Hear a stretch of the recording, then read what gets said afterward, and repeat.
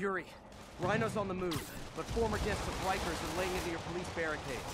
I'm gonna even the odds. Dude, if those barricades